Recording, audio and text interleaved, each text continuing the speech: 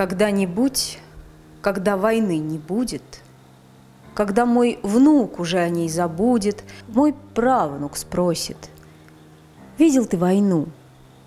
Семь войн я видел. Ты хоть про одну мне расскажи, на что она похожа?